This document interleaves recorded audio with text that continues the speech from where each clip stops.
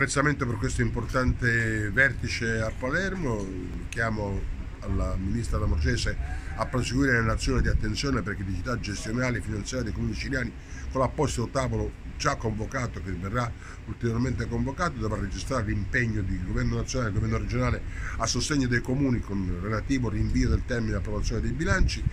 attenzione molto forte al tema degli incendi, come ANCI regionale della Sicilia, della Calabria, della Sardegna. Abbiamo chiesto che ci sia un tavolo tecnico politico di prevenzione degli incendi, se vogliamo evitare una vera e propria industria del fuoco, dove ragioni diverse, speculative, piuttosto che eh, di vendetta o piuttosto che di estorsione, finiscono con il distruggere l'ambiente. Occorre in qualche modo rendere l'agricoltore interessato a avere cura dei terreni non coltivati attraverso un sistema di incentivi che può essere opportunamente introdotto e previsto nel rispetto di alcune canoni e caratteristiche. Per quanto riguarda i migranti, spesso apprezzamento al prefetto di, di Bari per il modo in qual, quale si cerca di non essere travolti da logiche di emergenza e di invasione, ma al tempo stesso si, si affronti una situazione che certamente è una situazione